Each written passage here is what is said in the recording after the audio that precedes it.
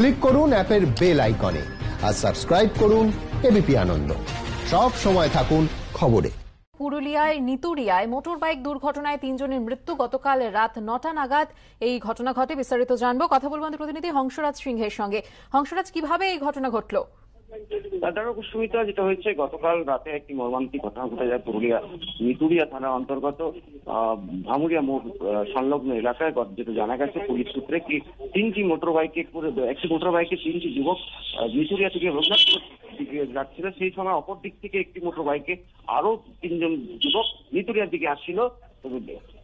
ঠিক সন্ধ্যা রাত্রি নটা নাগাদ এই দুটো বাইকের মুখোমুখি সংঘর্ষ হয় বামুরিয়া আহ, মোড়ের অদূরে এবং খবর পেয়ে ঘটনাস্থলে পৌঁছে নিতুরিয়া থানার পুলিশ আহতদের সঙ্গে সঙ্গে নিয়ে যাওয়া হয়।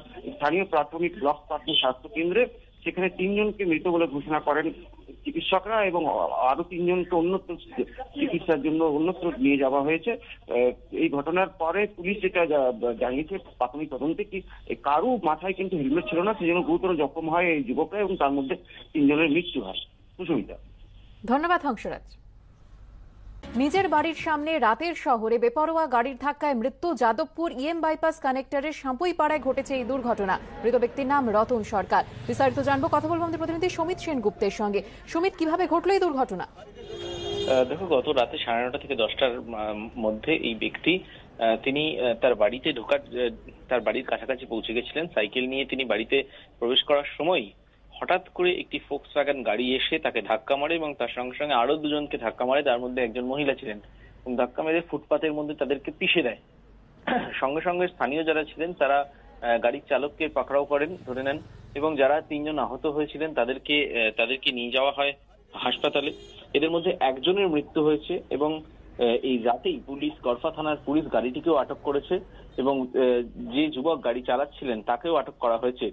স্থানীয় সূত্রের দাবি যে পুলিশ সূত্রেরও দাবি, যে যে গাড়ি চালাচ্ছিলেন যে যুবক, তিনি মত্ত অবস্থায় গাড়ি চালাচ্ছিলেন এবং গাড়ির গতিবেগ একশো কিলোমিটারেরও বেশি ছিল সেই সময়।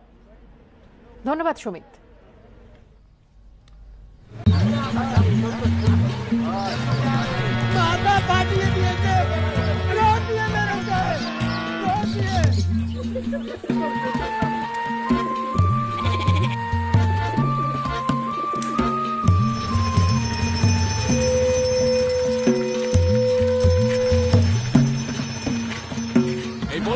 আমরা কিন্তু ছেড়ে কথা বলব না।